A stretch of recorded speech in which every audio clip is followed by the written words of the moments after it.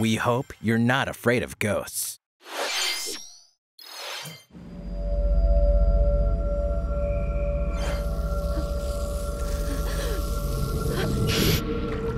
In this horror adventure game, you'll uncover the mysteries surrounding the ethereal but deadly Mount Hikami, believed to be at the center of many disappearances.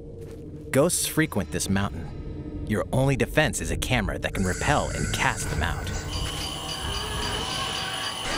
Face your fears as you explore a variety of unsettling locations.